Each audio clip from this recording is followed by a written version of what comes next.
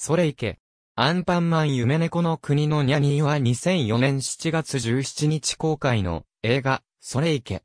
アンパンマンシリーズ通算第16作。同時上映作品は、それいけ。アンパンマン月こと白玉ときめきダンシング。全日本私立幼稚園連合会、社会福祉法人日本保育協会推薦作品。第5作、恐竜のシーの大冒険。第7作、幽霊船をやっつけろ。に続いて、メロンパンナが活躍する作品。物語中、ロールパンナがメロンパンナに語る、何をするために生まれてきたかという話は、それいけ。アンパンマンで描かれる、テーマの一つであり、第18作目の、命の星のドーリーにもつながる内容になっている。ニャニー役の西村智美とムーマ役の西尾匠は、夫婦での出演である。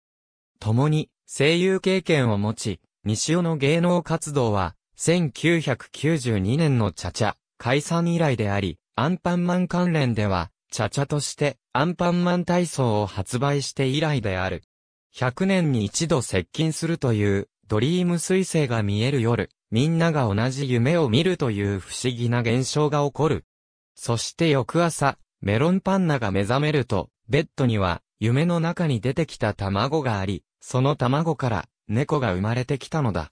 メロンパンナはその猫を、ニャニと名付け、育てることを決意する。ニャニーと楽しい日々を過ごすメロンパンナ。しかし、またみんなが同じ夢を見た夜、夢の中の世界は荒れ果てていた。そして、ニャニーはドリーム彗星の中の夢猫の国の猫で、ネムネムの実を食べないと消滅することが判明した。ニャニーと別れたくない気持ちを押し切って、ドリーム彗星へ急行するメロンパンナとアンパンマンたち。しかし、ネムネムの実を食べて、夢を叶えようとするバイキンマンたちが、ネムネムの実を根こそぎ取ってしまったのだ。果てには、悪夢怪物、ムーマも出現し、ニャニーは、まさに絶対絶命の危機に。果たして、アンパンマンたちは、夢猫の国を救うことができるのか？詳細は、アンパンマンの登場人物一覧を参照。バイキンメカ、それいけ。アンパンマン夢猫の国のニャニーの同時上映作品。